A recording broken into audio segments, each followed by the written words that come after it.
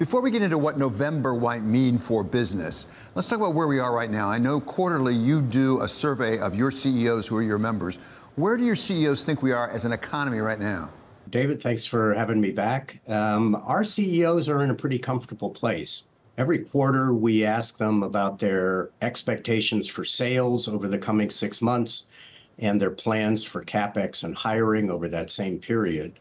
Uh, and we uh, we combine the results into a headline index um, that is basically a pretty good barometer of CEO sentiment.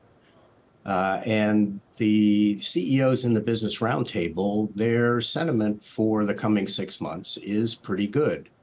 For the first time since uh, the third quarter of 2022, the that headline index is above its historic average. So it's not it's not exuberant. It's not uh, going gangbusters as far as our CEOs are concerned.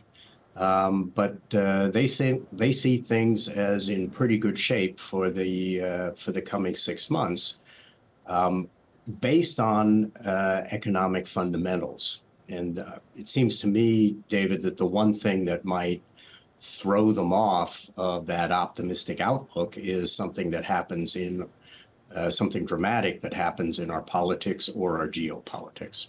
So let's talk about that specific, because you, as I say, you had experience in the White House. You know wherever you speak. How much of a difference does it make who is in the, in the White House, no matter who it is? Can the president really affect the economy substantially?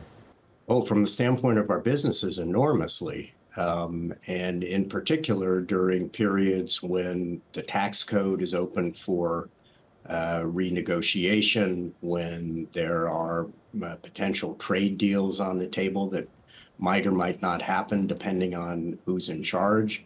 Um, the regulatory environment is dramatically influenced by um, by who's in the White House. Uh, so all of those things can really affect the uh, the business outlook from from the standpoint of our country's biggest corporations. Let's take those three that you've mentioned, starting with taxes. Uh, and the difference as we perceive it right now between the two front runners, Donald Trump and Joe Biden. Joe Biden has said he wants to increase taxes, and specifically on corporations.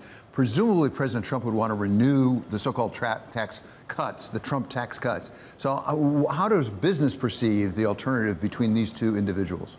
Well, uh, business very much welcomed the tax cuts that passed in 2017. They had a, have a lot to do with the prosperity that we enjoyed before the pandemic and that we enjoy now is a, uh, a reasonable tax environment. You know, uh, prior to 2017, the United States was among the highest tax jurisdictions in uh, among developed countries. Um, the 2017 Act didn't didn't bring us to the head of the pack, but it put us in the middle of the pack where it's possible for U.S. companies to compete in 2025, a lot of those provisions that brought us back into a competitive range are going to expire. And uh, there will be a big debate about what to do with a whole range of tax uh, provisions on both the corporate and the individual side. Uh, and the uh, the occupant of the White House is going to have a lot to say about whether uh, taxes go up or remain roughly roughly where they are. Um, the uh, the composition of the Congress for that purpose is also going to be very important, and as close as it looks like uh, polling suggests that our presidential elections will be, um, the uh, the control of both houses of Congress is also very much in doubt. Uh, Josh, as you know so well, uh, taxes in Washington amount to revenue. I mean, if you cut taxes, you lower revenue as well, typically. Uh, how concerned are business CEOs, CEOs of big corporations, about our debt and deficit situation? Because there's a lot of concern on economists' point. Yeah, and um, as a former budget director, I'm I'm concerned as well. Uh, the the CEOs of the Business Roundtable are very concerned about the fiscal situation of the United States. Um, but from from their perspective, uh, the United States doesn't really have a problem that we're undertaxed, um, certainly on the corporate side.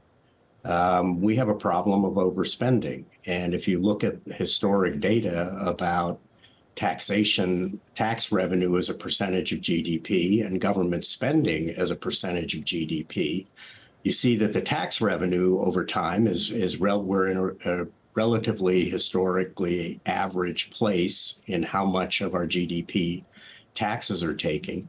Uh, what's gone way out of whack is the uh, is the spending, and so um, our members would like to see the Congress uh, and the president come together on sensible ways to uh, to control what has been out of control spending, uh, and uh, not try to solve the deficit problem on the backs of uh, of our businesses because uh, our economy will not flourish if uh, if the uh, the tax environment is not competitive, and we are at risk of becoming a once again an uncompetitive competitive tax jurisdiction. The second thing you mentioned was trade and tariffs.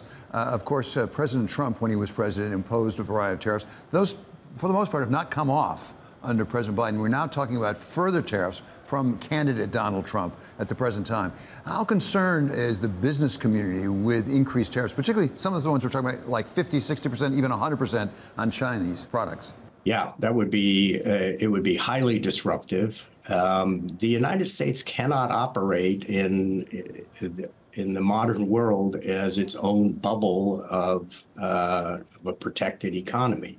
We are in a global economy, and we damage our own prosperity and our own future competitiveness if try to protect ourselves uh, via tariffs or any other measure from a global international trading environment. Nobody knows that better than uh, the big companies that are members of the Business Roundtable because they operate in, uh, most of them operate in many countries around the world, and uh, they need to be able to compete. Uh, 10% tariff across the board uh, would be a huge tax on the American people. Uh, and uh, to the extent that those are goods that consumers use, the consumer would pay the cost of that.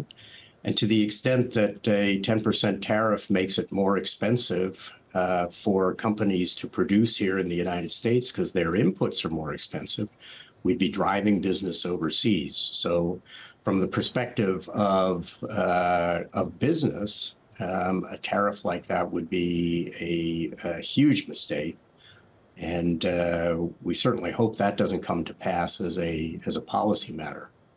Overall, what the business community would like to see is a real affirmative trade agenda from the from the United States. That is, negotiating trade deals, especially with our friends and allies in Asia um, which is the only way we're going to succeed in competing with China.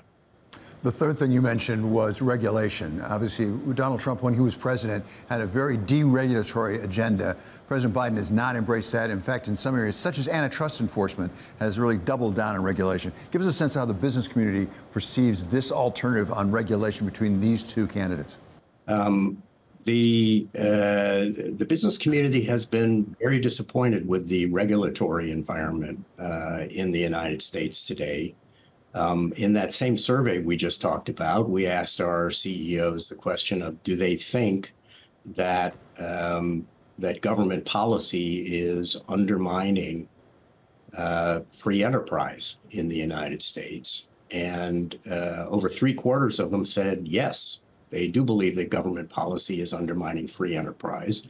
And among those who said yes, almost all of them cited regulation as a key concern. Uh, and about two thirds of them said that uh, antitrust policy is a key concern.